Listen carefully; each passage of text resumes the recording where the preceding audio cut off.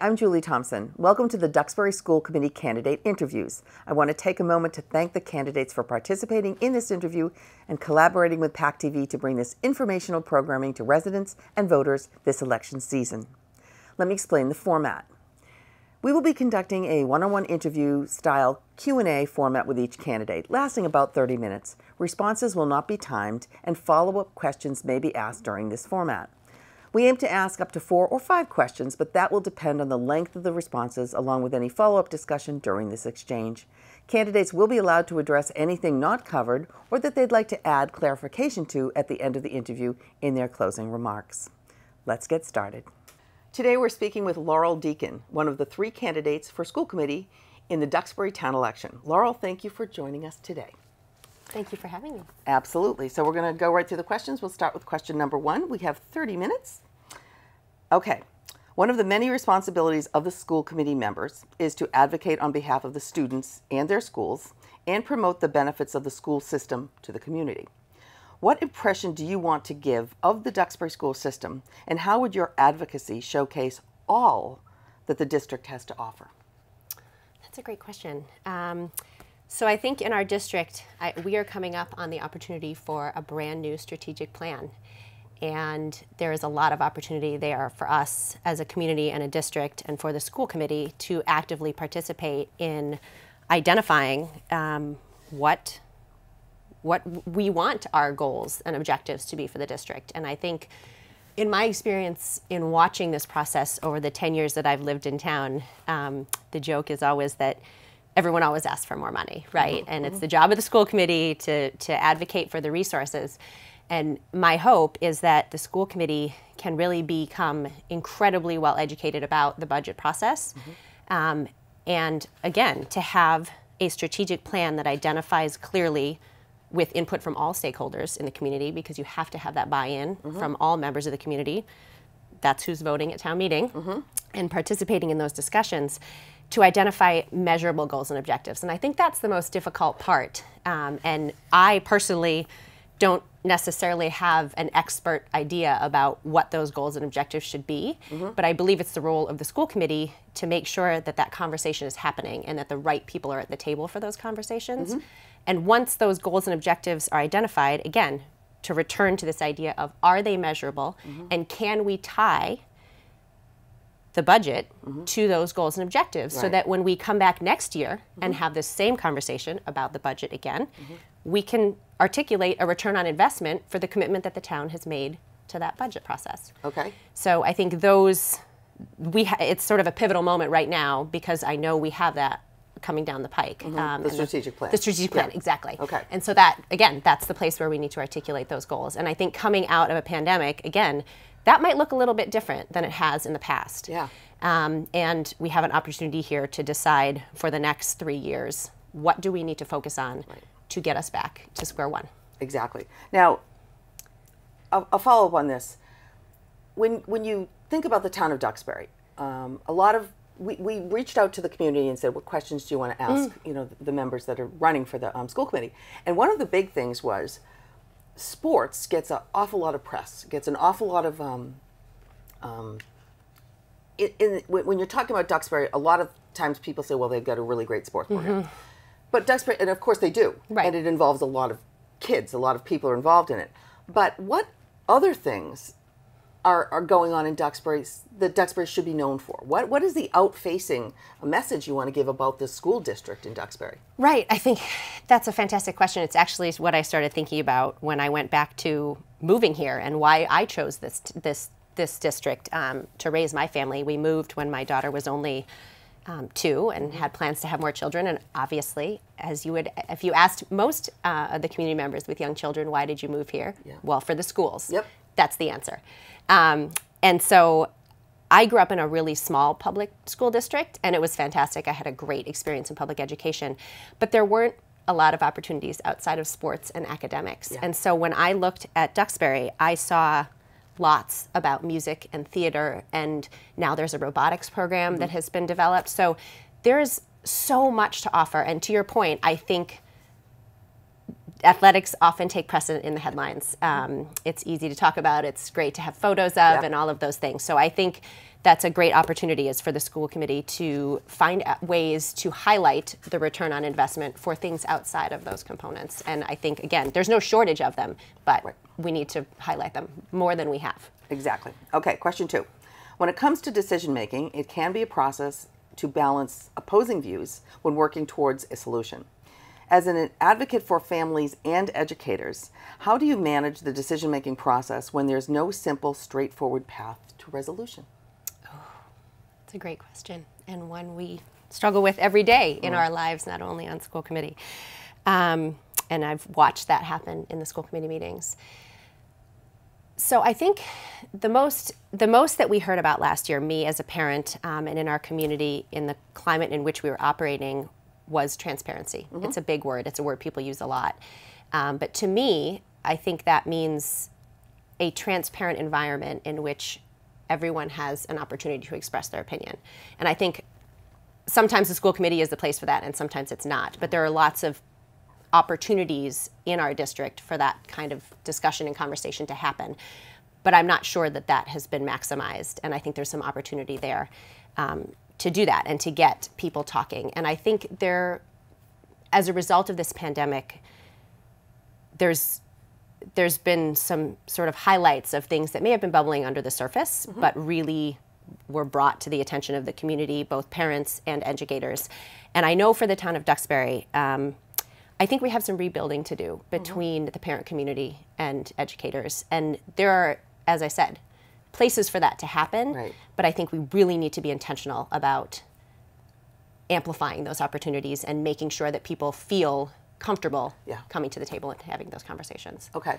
Um, and l- let me follow up with that because this happens all the time. Uh, with the use of social media and it being so widespread, do you see it affecting the decision making process in, in the school committee?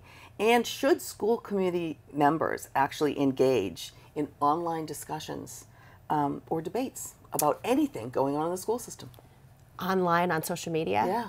uh, I do not believe that's a place for that um, because I don't think it's transparent and I think there's a lot to be left for interpretation and that's a dangerous place.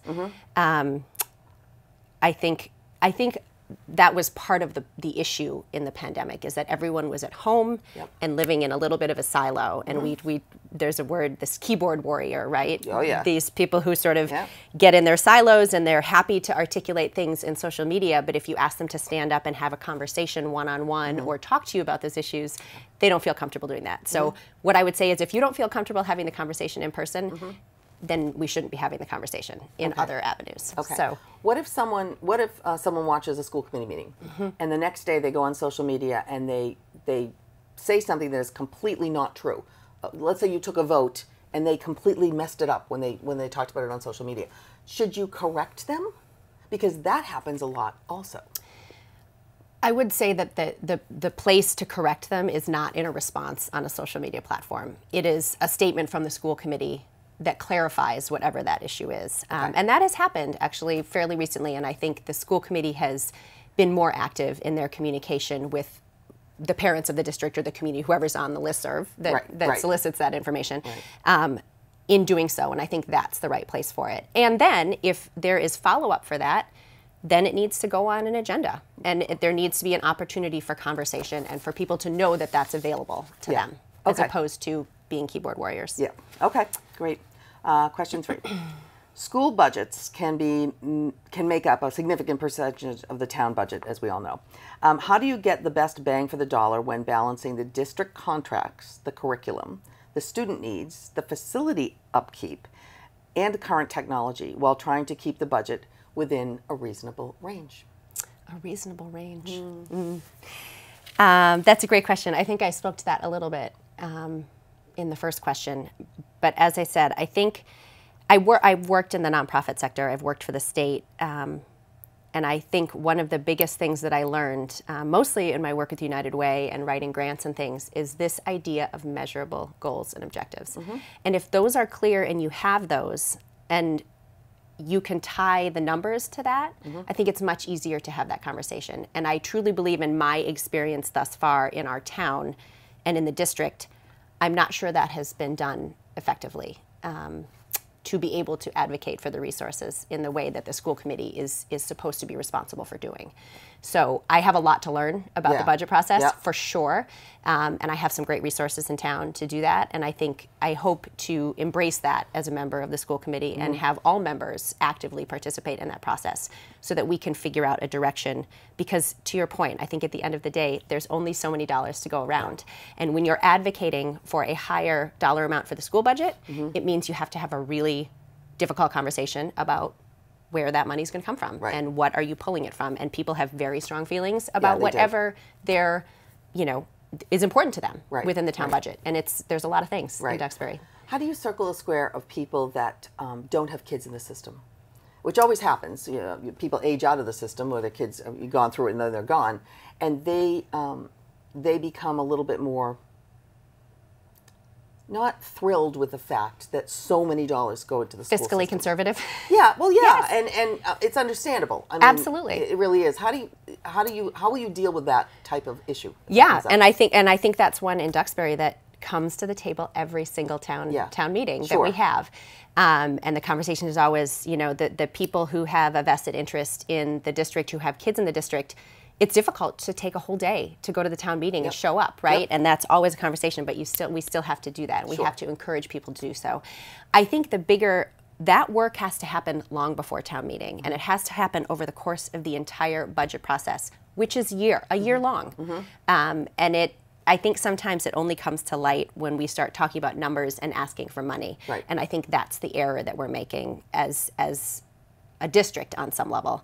And the school committee has to play a role in that. And they have to get buy-in and by I, be- I really believe by identifying these measurable goals and objectives you can do that. And you can articulate why you are asking for these dollars. That's a much easier conversation than just asking every year. Sure. Now, what about the people that say, um, what what significant improvements could you make, or what could you do um, within the school system without using dollars?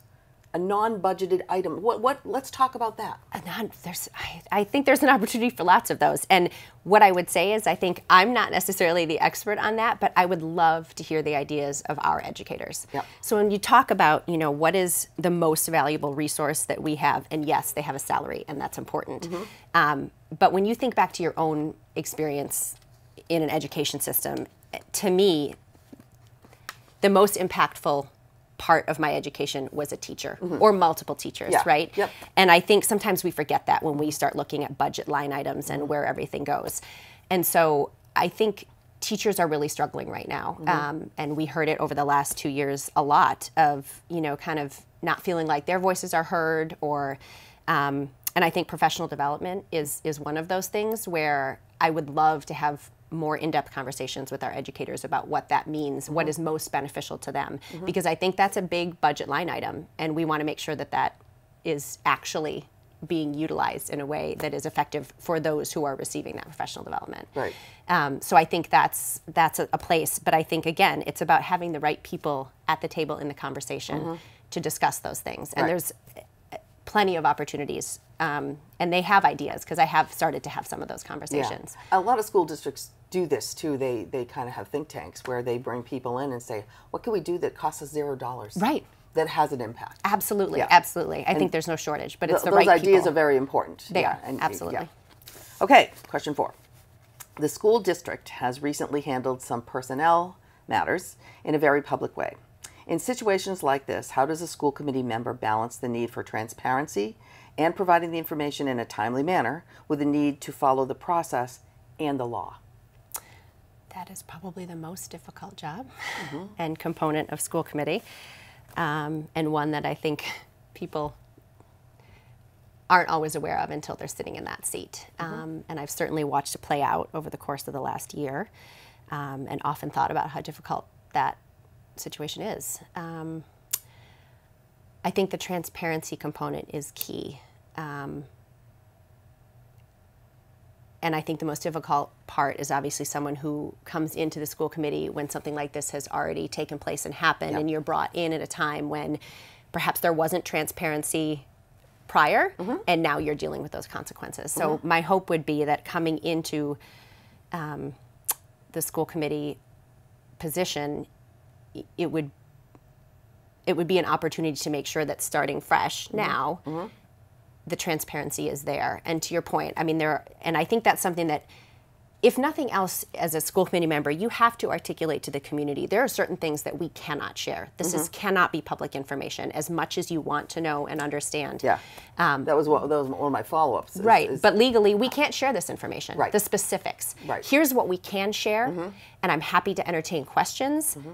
But we will be very clear about what questions we can and cannot answer. But when we can't answer questions, we'll be forthcoming with that information. And right. I don't know um, if that's always the case. And I think one of the issues is a fear, a fear of saying something that you shouldn't or doing something that you shouldn't. So how how how do you as a school committee member deal with that? Whether it's a student that sees something and it doesn't feel comfortable or it's a teacher or it's a parent, is it your job as as the school committee to set the standards for how do you communicate things that are uncomfortable or that you you want things followed up on? I think the school committee has to have a conversation with the administration. That's the avenue, that's my understanding of the avenue for those conversations. That's mm-hmm. where you begin. Mm-hmm. Now, if the school committee determines that that was not an effective method or they're not receiving the information um, in a timely manner mm-hmm. or in, in a transparent manner, mm-hmm. um, then that requires follow up. But I, and I think again, part of it is having that conversation with the community that here's what we're doing, here's right. what we are working on. Right. We are working on this it's a process. It's not something we're going to be able to deliver back to you, you know, on yeah. tomorrow. Um, but know that we are thinking about it and working on it. Right. And you know, as soon as we have more information for you, we'll give it out. We'll give it out. And how do you set set up the scenario so the same things don't happen again? What do you do to prevent yeah. situations like mm-hmm. that? Mm-hmm. Um, have really transparent conversations about them from mm-hmm. the very beginning. Yeah. And and I think it's the school committee's role to be very clear about what transparent means mm-hmm. within the rules of the law. Yep. Um, and make sure that there's a partnership between the administration and the school committee. And I think that's something that I feel really strongly about. And I think it's a difficult dynamic because you, as the school committee, are holding the administration accountable. Yep. But how do you do that? Unless you have a strong relationship and a partnership with them. And right. so my hope would be that if that partnership exists and that trust is there, mm-hmm. then you're going to be able to move forward together. Right. While also as a school committee representing the interests of the community. Right. That's that's your role. Right. And what about the final thing on this this question is interaction with parents. Now, school committees, I know some people go to meetings, some people don't. some people write to you and say, please answer this question. Um, there's always a number of parents that are very vocal. Mm-hmm. Um, there's a lot of parents that never you never hear from. Mm-hmm. What is your what is your view on parental involvement with all things to do with the school? Because it's a it's a it's it's a tough it's a tough balancing act. It is because sometimes the teachers are acting as parents. Mm-hmm. Sometimes you have to be the arbitrator between you you almost are, school committee can act as parents. Mm-hmm. How do you how do you respect the position of parents, but also draw the line? That's a wonderful and difficult question. Um,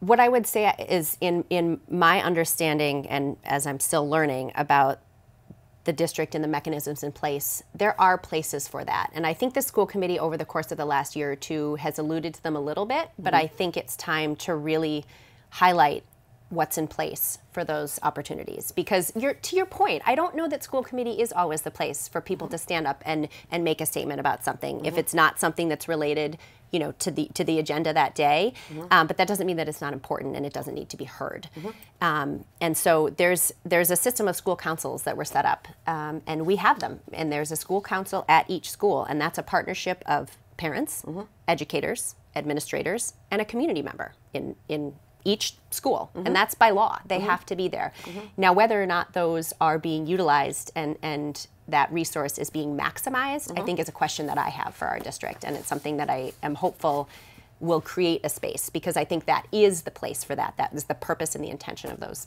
those things. And their role is then to obviously report to the school committee and yep. bring up issues that arise. Right. And it's a much more, I think it's more accessible for, yep. for parents in the community because it's school specific. Yep.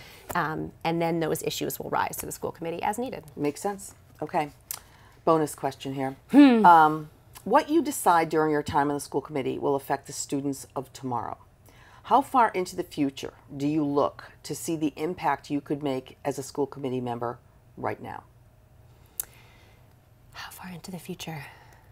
I think that's a more complicated question in this moment mm-hmm. because of what we've just gone through. Um, I think in my mind right now, I think about focusing on the next three to five years. Mm-hmm. Um, the term is three years, but I think when you think about a strategic plan and where we're going and what we have to address mm-hmm. based on what's happened in the last two years, um, to me, that's a manageable view for right now. Mm-hmm. Um, and once you set set the bar for those three years, then we have a look back moment of where are we now? Because again, I think it's sort of a pivotal moment. The last two years have been unlike anything we mm-hmm. have ever experienced. Absolutely. And so the conversations and the strategic plan and all of those things are going to be a little bit different, I think, this time around, or I believe that they should be. Right. Um, and then you revisit that and, and plan for the next 10. Okay, based on the, based the on previous the, three. the previous three.